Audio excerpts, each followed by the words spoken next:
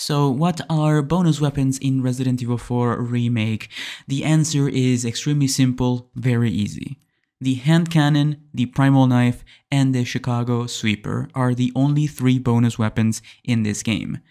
The deluxe edition weapons do not count as bonus weapons. So the Sentinel 9 or the skull shotgun thing is not a bonus weapon, okay? Okay, so what can you do with bonus weapons? Bonus weapons can be upgraded to be infinite, all three of them. So that means the Chicago and the hand cannon and the primal knife, all three can be infinite without the use of cat ears. So also, what can you do with bonus weapons? With bonus weapons, you can get S plus rank in professional and any difficulty in the game. The only thing that voids S plus rank is the New Game Plus. So what is New Game Plus? New Game Plus is when you finish a playthrough and then load up that file again and get to start over with your guns from the beginning. So you cannot get S plus if you do that.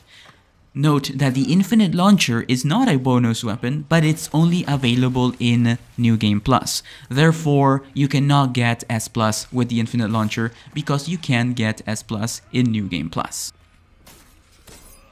So let's take a look at these bonus weapons. So I'm currently using the maxed out primal knife in hardcore difficulty and I'm knifing things to death. So the exclusive upgrade on the primal knife of course is the fact that it doesn't break. So it's infinite, it's unlimited, it will never break even if you parry a chainsaw. So in order to get, again, in order to get it to be infinite, you have to fully upgrade it and then purchase the exclusive in the merchant's tune-up shop. So additionally, we also can use an exclusive ticket if we have enough spinels in our playthroughs. Note that it will stay infinite in that playthrough only and it will not be infinite in other save files. You will have to always upgrade it to max in order for it to be infinite. This applies to all of the weapons, so the Chicago, the hand cannon, and the primal knife all have to be upgraded in each playthrough for them to be infinite. Now, let's take a look at the Chicago. So the Chicago Sweeper, also known as Chicago Typewriter, is incredibly good. It has the fastest rate of fire in the SMG class, and it's just it's just crazy. It's just incredibly good, and it's honestly one of the best weapons in the entire game. You can do a knife only run with the primal knife, of course. Uh, I do believe it's actually quite fun and I actually recommend it. Um, the Chicago Sweeper is actually used in my strategy on how to get S plus rank to unlock cat ears. So you can use cat ears for unlimited ammo on all weapons.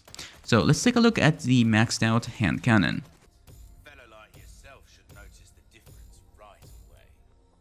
So the hand cannon goes all the way up to 36 damage and its bonus exclusive ability is ammunition never runs out. This weapon also has penetration, which means it goes through enemies and through some objects, including shields and things like that. And also, if you try to reload it, Leon will do a special animation, much like in the much like with the Chicago Sweeper. So let's take a look at the damage and how it affects enemies. And yeah, so the hand cannon is a one-shot on regular enemies, of course, but it isn't a one-shot against mini-bosses, such as the pig head or cow head dude or whatever it is, the bull head dude. Um, but uh, I mean, that's to be expected.